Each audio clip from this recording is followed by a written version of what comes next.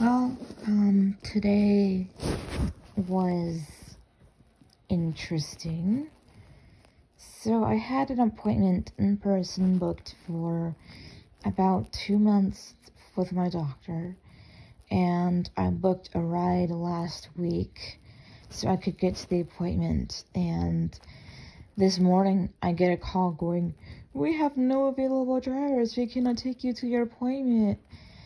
And I was like, well, why didn't you notify me yesterday? And the person that I was on the phone with was like, well, there was no one available yesterday, but I wanted to wait today to to just make sure that there was like she was like I wanted to wait just in case somebody became available today, but like no one was available. So I had to reschedule my doctor's appointment. Um, and the next appointment that she could see me in person that I would be able to make it is November 4th. However, I did get the in person appointment today switched over to virtual. Um, and for whatever reason, the um, office denied my psychiatry referral both me and my doctor are not amused. I I was like, what the fuck? And she has the same sentiment um as me. And comfort care referrals um are she thinks are only um for cancer patients because she tried to send one a while ago. Um that yeah, she she she thinks that they're only taking cancer patients, and I'm like, but I I need comfort care because of my you know chronic illness crap. Um. so that happened. Um.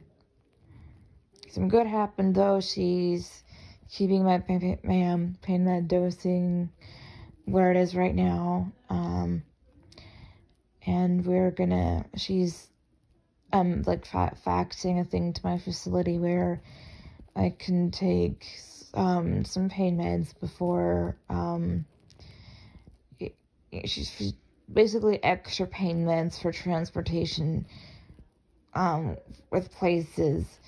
Because transportation hurts. Because like when I take um when I go to appointments or whatever um, because I'm bedbound, I go in a stretcher, so I end up going in the back of an ambulance when I go to in person appointments. And ambulances aren't really built for comfort, so like you're in the back of an ambulance on a gurney on a bumpy road, and it just hurts like hell.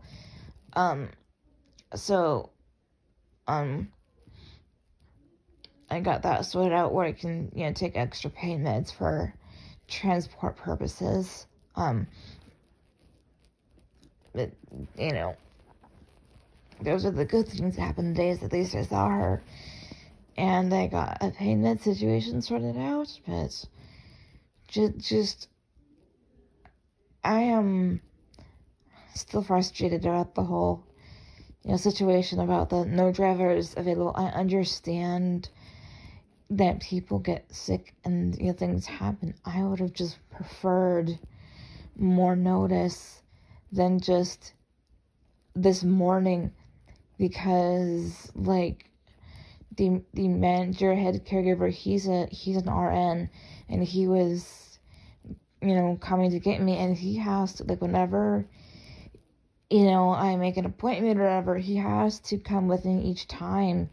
So he has to set time aside you know in order to make sure he can come with me so he basically had like almost like the whole fucking day set aside so he could be with me in that appointment.